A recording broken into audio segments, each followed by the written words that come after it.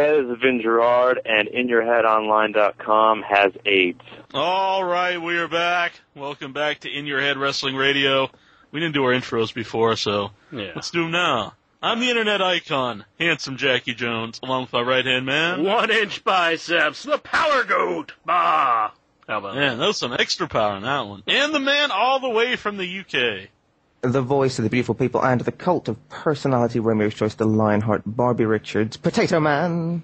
Oh man. And joining us right now is none other than Colin Delaney. Welcome to In Your Head. What's going on, guys? I'm doing pretty good. We didn't give you any. We should we should have came up with a funky nickname for Colin. Yeah. I like I the extremely cute man. I'm sure I got plenty of them. Yeah, extremely cute wrestler. No, that's an actual nickname. That's not just uh, Barbie's opinion. Right? No, no, no. That's that's my nickname. That's what they call me on the streets. You know, I got street cred. Definitely, I, I can see that. They're that. like, yo, here comes extremely cute. And everyone's trembling in terror. Yeah, it's kind of like Big Right? E. Everyone. Yeah. Was that was that intro? Like a like the Big E name. It's kind of like that. It's uh, Hmm. I'm extremely just cute. like Biggie. Beforehand, we were Yeah. talking about some important stuff, but now we're going to get to even more important stuff. This is the There's king of nothing more important than a KFC double down. It, it is. Uh, We don't like to give away the magic here on the show because we talk about important stuff off the air, like D-Wade DDP on, and he was telling Intra one inch biceps that that's better than a one inch uh, penis. Mhm. And uh, we're talking to Colin Delaney, and he's telling us about the the KFC double down. Yeah. Uh, thumbs up, thumbs down. I enjoyed it. Uh, thought it, it, it looks small, surprisingly filling. I say surprisingly filling, but it shouldn't be surprising that thing's filling. It's just meat. Hmm. I think people So said that meat. to Intra before too. that I'm just me. Yeah. Small No. but surprisingly filling. Oh, oh, okay. Well, my goodness. Things got Well- weird fast. You can say that. This is a typical night here on In Your Head. But uh King of Trios tournament this weekend, April 23rd, the 24th, and the 25th at the ECW Arena in Philadelphia, right. Pennsylvania. Have you uh have you been in the ECW Arena before? Have you uh competed in it? Oh, I've competed in it plenty of times, plenty of times. Uh, he's, it's uh, it's cool to wrestle there. Like the first time I wrestled there, I was just like out of my head in like awe of just thinking about everything that's gone down there. You know, all the all the classic matches that have happened there, and like everybody who's wrestled there, and like it's really like a they've done a lot with it. When I first wrestled there, the first time I wrestled there, it was pretty run down and pretty uh pretty shady. But now, like the people have taken over, and it is really, really nice in there. Mm-hmm. Which was your first match there? My first match there was, I want to say it was King of Trios weekend 07. Uh, it was night three, uh, and we wrestled in like a tag gauntlet. Uh, me and Jimmy, and we uh, beat 2.0, and then lost to Larry Sweeney and the Sharecropper of Sweet and Sour International. Ah, throwback. and I don't recall any of that being like that was my first experience there, and I don't recall it being good at all. And I think my second and third experiences in the arena were also bad. And I just had like such a like, like man, this is like a one of the most famous wrestling arenas in the world, and I cannot have a good match here to save my life. Does it have a special feel when you're actually in the ring? Uh, it's yeah, I mean it's especially like uh, I'm sure a lot of people out there watch Chikara, and the, the other arenas they have like the uh, you know the Reading Coliseum and the Barnesville Thunderdome. They don't do Barnesville Thunderdome anymore, thank goodness. but uh, they're like smaller like uh, Knights of Columbus type halls and stuff like that. Whereas the ECW arena is just like such a massive, massive place, and the lighting is cool, and like just the whole setup is is really really neat and really just perfect for a wrestling show. Mm-hmm. Uh, since you uh, you were part of the the WWE's version ECW, uh, when you're in the ECW arena, do you ever like bring that up, or does anyone give you a hard time about that? Uh, not really, because I mean, I don't know, like, I guess it is the ECW arena, but it's more just the arena because every like every promotion and their brother tries to run there. Like, it's like the place. There's wrestling there all the time. So I think the uh, the ECW part of the arena has kind of uh, I don't know. I'm not going to say it's gone, but it's not as not as talked about as it once was. hmm Now, uh, do you know uh, what team you'll be facing in the first round of uh, the King of Trios? I do, I do. It's uh, it'll be me, Vin Gerard, and Stigma, the unstable, of course. Uh, not to toot our own horn, but last year we made it to the uh, we made it all the way to night three, uh, being eliminated by Claudio, uh, Danielson, and Dave Taylor. Nothing to uh, you know. I mean, got eliminated by three of the best wrestlers in the world. Can't really say much about that. Oh, yeah. But uh, this year we will be taking on Team Osaka Pro in round one. Uh, honest to goodness, not gonna lie, never seen any of these three guys wrestle. Uh, have no background on them. So, like, I I watched uh, when I found out who I was wrestling, I watched a brief YouTube clip, and that's legitimate. That is the extent of what I know about these three guys. Uh, um, going into a match with uh, people you never wrestled before is that uh, is that something you get? Uh, is it something makes you nervous? Something you look forward to? Like, uh, what are your thoughts about that? Ah, man. I don't know. I mean, I, I guess I back before WWE, before I uh, I did what I've done, I would have been a little more nervous about it. But nowadays, uh, I don't know. I, it's weird. I, I wrestled uh, a lot of different people, Mhm. and uh, it doesn't. No one really makes me nervous anymore. I'm sure, like, I would find people who I would be nervous getting in the ring with, or, or you know, having a chance to wrestle. But I don't know. These uh, these three don't really make me that nervous. The language barrier might be uh, might make me a little nervous, but The, your Yeah. time in WWE, would you feel that that made you a better uh, performer? of course, it's uh, I mean, it's it's the show. It's if if you've gotten to wrestling and like I hate when people are like, I I never want to go to WWE. Why? Why are you doing this then? Why would you get into professional wrestling with no intent to be? That's like saying I I got I work at this job to be in middle management my whole life. No, you didn't. You like clearly you want to be the best at what you do, and being the best at what you do means you're in. WWE.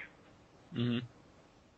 Now, yeah, you mentioned the the team name is uh, Team Unstable, and there, there's a Yep. lot of other uh, teams on here. And I saw that Curryman is actually going to be uh, in one of the teams, uh, Team Delici- Delicioso.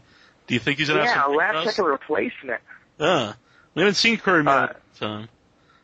No, I haven't seen Curryman in a a good minute, and uh, I was surprised when I saw him as the replacement. I, uh, excited to see it. That team uh, team looks like something to watch, but definitely was surprised to see him in there.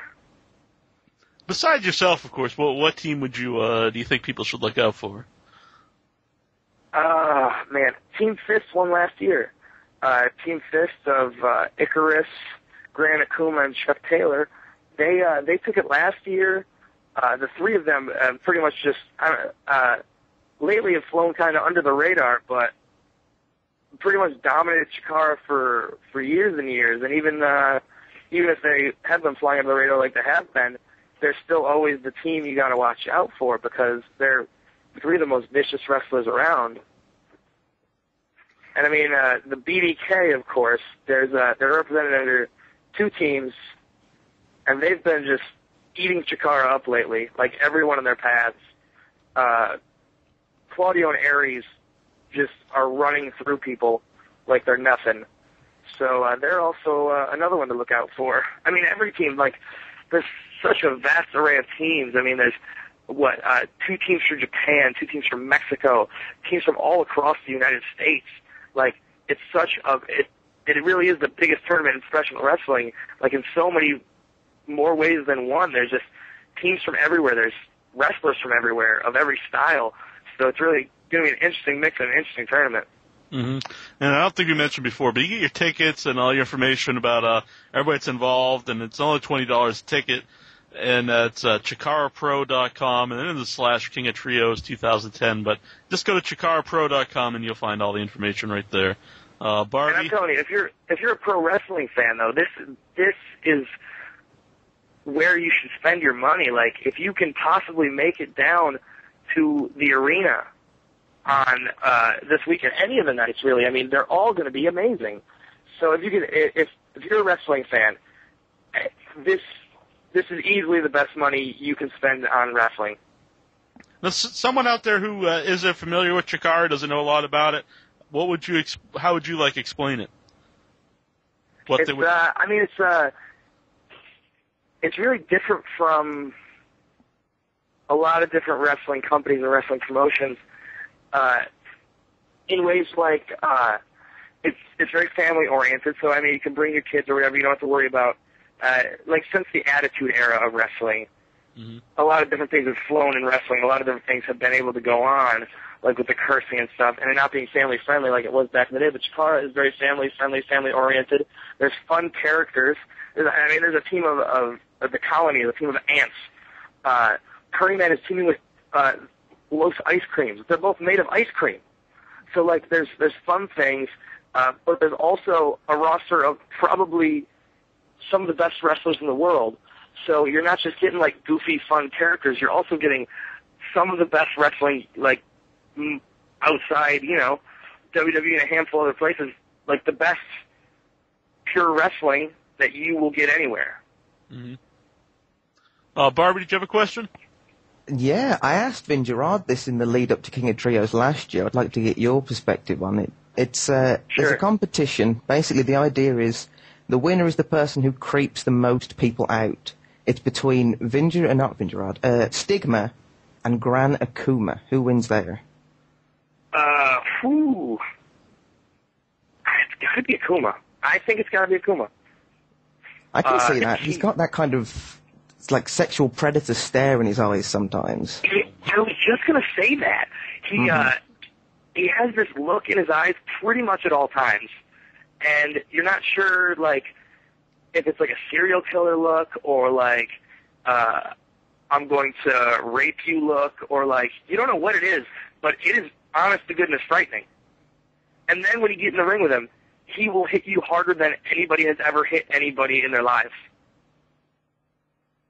So he's he's frightening and with good reason. I mean, Stigma is creepy on his own, and uh, that's why he's on my side, and I'm glad he's on my side. hmm But uh, Stigma Stigma definitely looks the part and has enough to uh, to back it up, which is uh, a thing both of them possess very well. Uh, Inchman, do you have a question from the board? Yeah, I have some questions from the message board. Uh, the Bob Collings, he wants to know how does he like working for 2CW? Uh, outside Chikara, hmm I'd say it's my uh, my favorite place to be on the in, in independent wrestling. There's uh, there's another one where they have a lot of different styles and a lot of uh, I feel it's run really uh, really well and really solidly. Uh, they give the fan they're they're really focused on making the fans happy as opposed to uh, guys you know doing uh, out there kind of for themselves and wanting to uh, make themselves look better. They're they're focused on the fans and making the 2CW products better, which is really great. We have everyone working for a common goal as opposed to uh, working for themselves. Um, something I always liked is the uh, the DVD covers of all the Chikara DVDs. Do you have Yeah. any particular favorite ones? You know what? I don't, and you know why? Because I uh, I think I've made maybe one of them.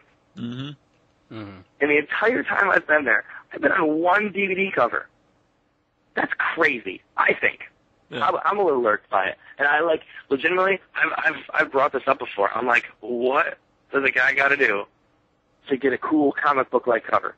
Because I think the one I'm on is just like a like a slight picture of me like in the background. I'm not even featured on any of these things. You know what? When I win King of Trios this year, they're gonna have no choice but to put me prominently featured on the front of a DVD cover. So not only am I playing for for these uh, for the the King of Trios, but I am I am fighting for myself on the cover of one of these DVDs. I'm putting it out there right now.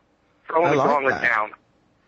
So the covers are usually uh, reappropriated comic book covers. Is you know is there one superhero you think you'd do a decent job of standing in for?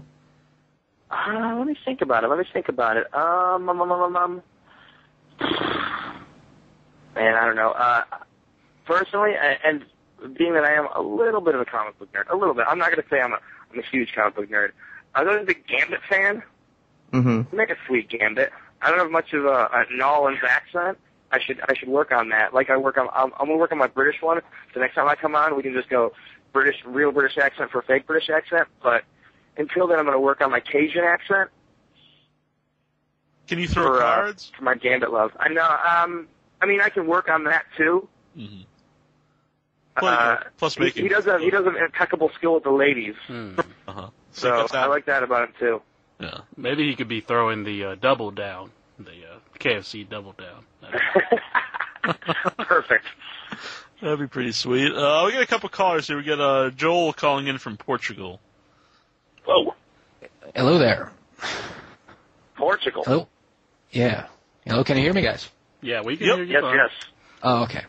Uh, I just have one question uh, to you uh, to ask you. Um, you, as you were talking, you work uh, for Chikara, and you've been working for a couple of months. Uh, my question is, uh, being that you have worked in the WWE and you know how the WWE works in, from the ins- inside, is there anybody in Chikara right now on the roster that you think would work quite well in the? WWE? Um,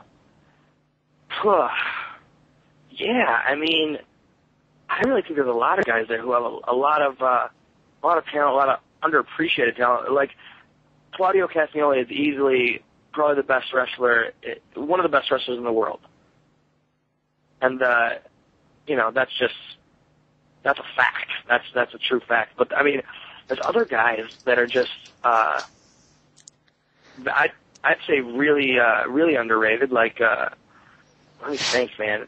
The, roster's so vast. Like uh, I love watching. Uh, I love watching anytime Fire Ant is in the ring. I like Mhm. anytime Chuck Taylor is in the ring. Like guys Yeah. like that, I think are uh, have so much so much skill, but don't get the uh, the praise that they they possibly deserve. And there's guys who can like cut promos better than uh, possibly anyone in WWE. Like like Eddie Kingston, I can listen to him talk all day long, and for that reason alone, outside the fact that he's an amazing wrestler, it makes him uh, valuable for uh, a place like WWE or, or anywhere really. Okay. Thanks for calling in, Joel. Thank you. Bye. Thanks, man. Have fun in Portugal. Yeah, I think I pronounced his name wrong, but it's close enough. Uh, what else? Yeah, whatever. He's just a Portuguese guy. So.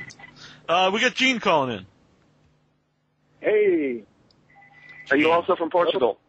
uh, I, uh, I'm from South Portugal. oh, wow. A lot of English in South Portugal.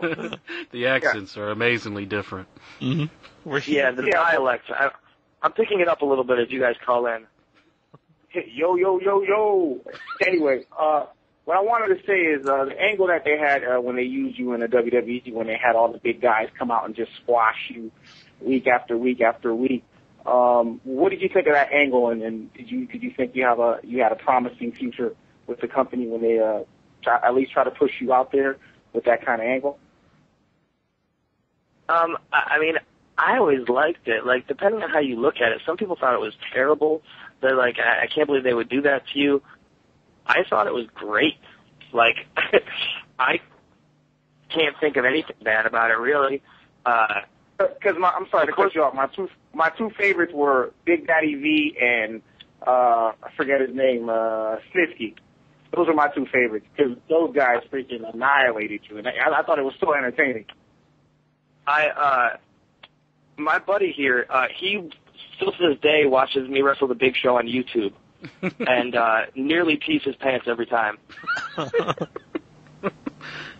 Every time. My buddy Mike Savone here in Rochester, New York. Every time, nearly pees his pants.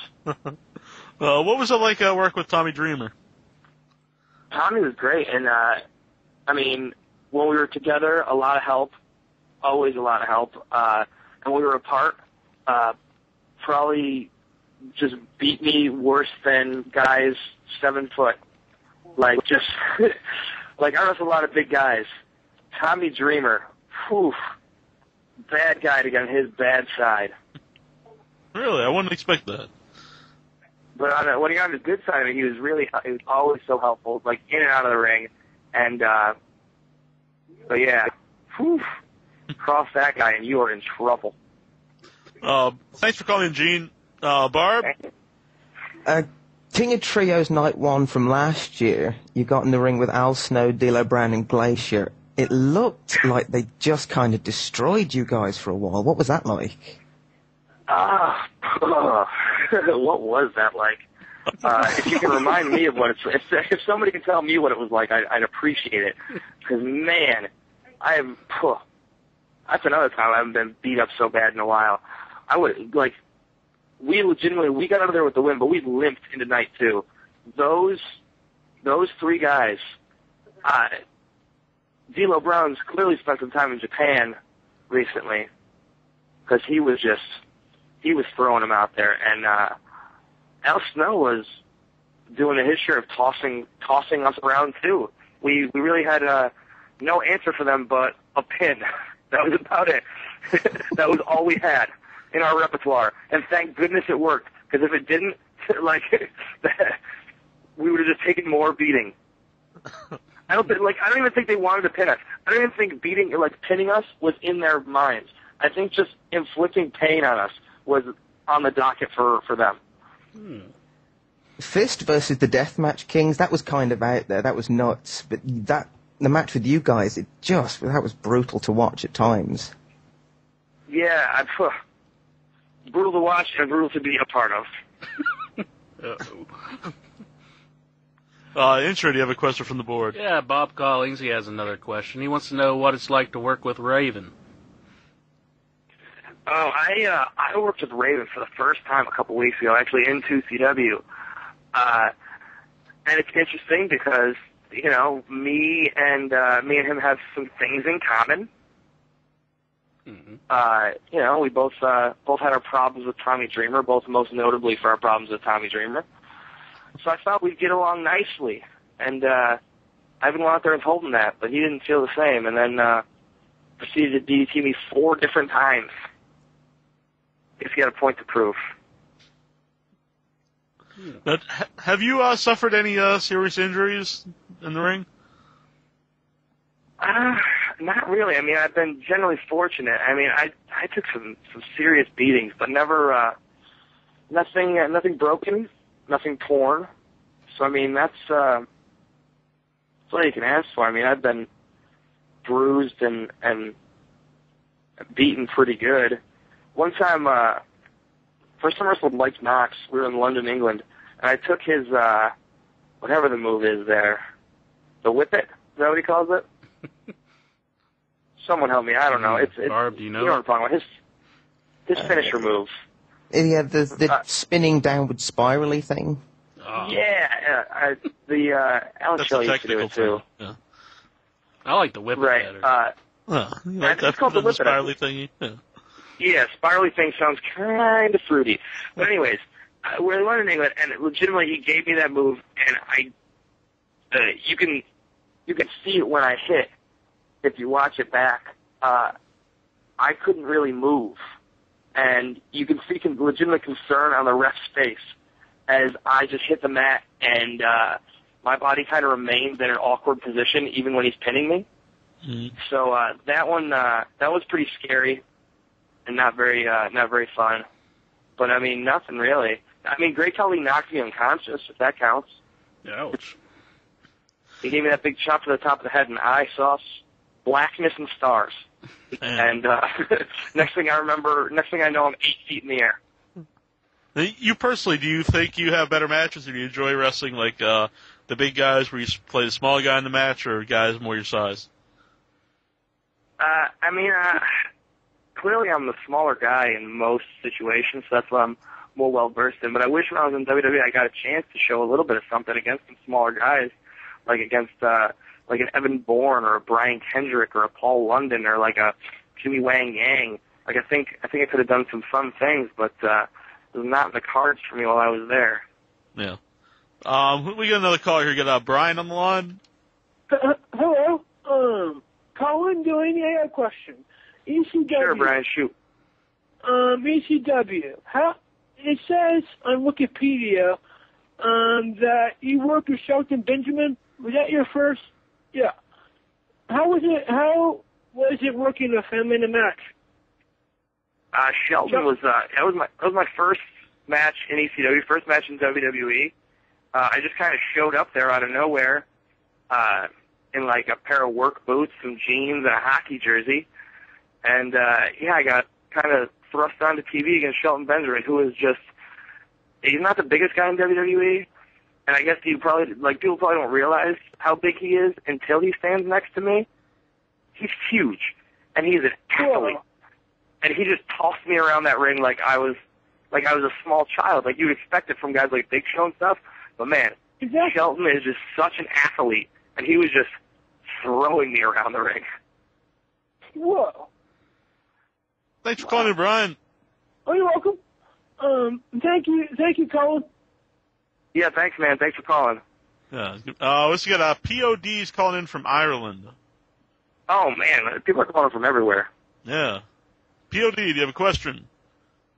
Yeah, uh, which wrestlers helped you the most in your wrestling career? What's that? Which wrestlers helped you the most in your wrestling career? Uh, Which wrestlers helped you the most in your Yeah. The heavy accent there. Help me the most or hurt me? We'll go with both. All right, we'll go. I'll, I'll, I'll feel it's not the both sides of that. Yeah. it probably is. It's probably all Tommy. Uh, I mean, when I was in WWE, uh, Tommy helped me like with everything. Like that's not, like how to act in the locker room, who to talk to, who not to talk to, like where to stand, where not to stand. So he was like incredibly helpful with everything. And uh, getting in the ring with him for the first time on the other side was just an experience and a half. Where he he is no joke. He uh like I just said, I mean, Great Khali knocked me out, and uh Mike Knox, I guess, nearly paralyzed me. I don't know. I just couldn't move.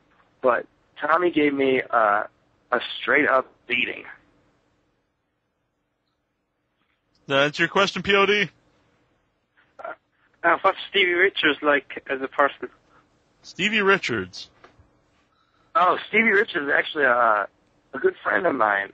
Uh, uh, Stevie Richards, uh, just an all-around nice and cool guy, and just the mecca of technology. If you ever had a technology question or wondered something about technology, he is the man to ask. Got that POD? Um, do they have technology in Ireland? Come on, man. No, I'm Irish. You know you can light a bulb using a potato jack. Oh, okay. I'm just I'm just fooling with you, POD. You're a good man. Thanks for calling in. All right, thanks very much. Good night. Yeah. I think Now, we. in discussion, in discussion with the Chikara fans off the In Your Head message board, I've actually brought up the idea of bringing Doctor Stevie into the Unstable. Would that be something you'd be interested in? Yeah, sure, man. I think he'd fit right in.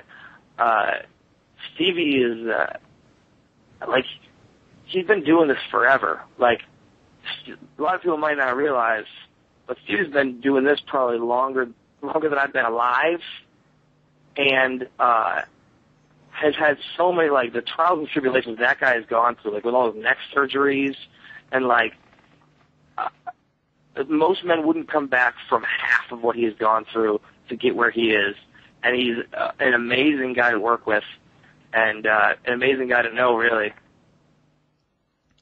Well, Colin, we really appreciate coming on tonight, and we hate to cut it short, cause, uh, but we have to call Jake the Snake here.